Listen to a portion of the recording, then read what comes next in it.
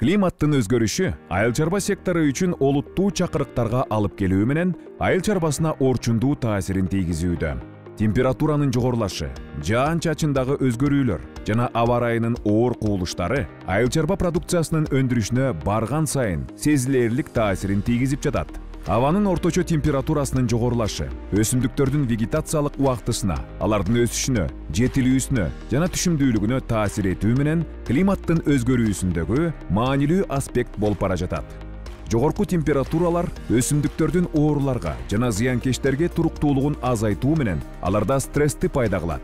Жаан чачындагы өзгөрүүлөр агрардык тармакта маанилүү роль ойнойт.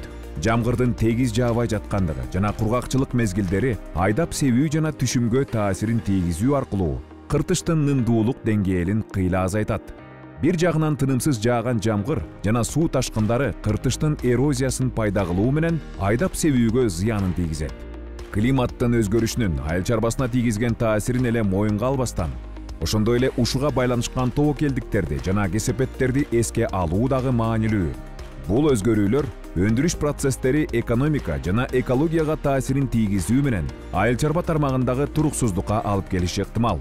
Негизги тобокелдиктердин бири температура жаан чачындын өзгөрүүлөрү жана оор аба ырайынын кубулуштарынын жыштыгынан улам айыл чарба өсүмдүктөрү үчүн шарттардын начарлашы болуп саналат. Бул түшүмдүүлүктүн азайышына жана айыл чарба азыктарынын сапатынын жоголушуна алып келиши мүмкүн. Андан тышкары мындай өзгөрүүлөр өсүмдүктөрдүн ооруга чалдыгуусуна жана зыянкечтердин жайылышына шарт түзүшү ыктымал. Бул жер иштетүү процессин кошумча татаалдаштырат.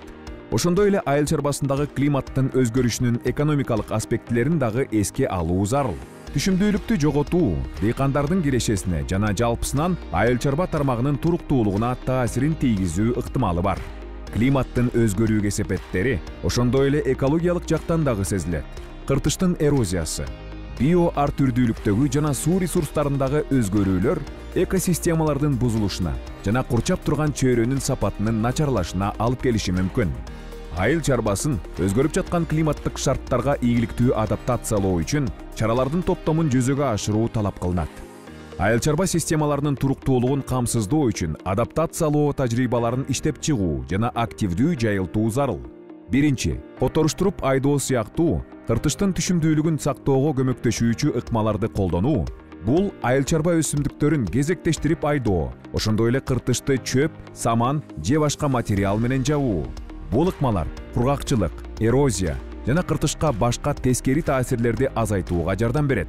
Экинчи чыдамдуу өсүмдүктөрдү тандоо климаттын өзгөрүүлөрүнө адаптацияланган өсүмдүктөрдүн сортторун тандоо жана жайылтуу аба ырайынын аномалияларына ооруларына жана зыянкечтерге карата чыдамдуулугун жогорулатууга түрткү берет. Үчүнчү сугаруу системаларын өнүктүрүү.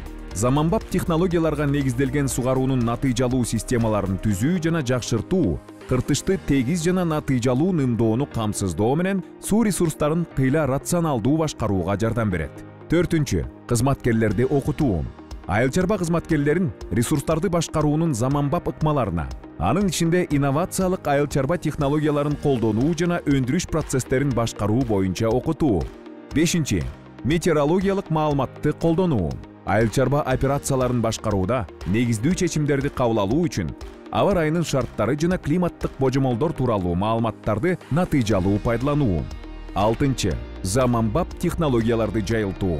Айыл чарба процесстеринин натыйжалуулугун жана туруктуулугун жакшыртуу үчүн дрон датчик сыяктуу заманбап технологиялык чечимдерге адаптациялоо. Жетинчи. Финансылык колдоо механизмдерин түзүү. Инновацияларды жана адаптациялоо чараларын жайылтууга түрткү берүүчү айыл чарба ишканалары үчүн колдоо механизмдерин жана финансылык аспаптарды иштеп чыгуу. Бул чаралардын жыйындысы айыл чарбасына өзгөрүп жаткан климаттын шарттарга натыйжалуу адаптацияланууга мүмкүнчүлүк берүү менен азык түлүк коопсуздугун камсыздайт жана түшүмдүүлүктү көбөйтөт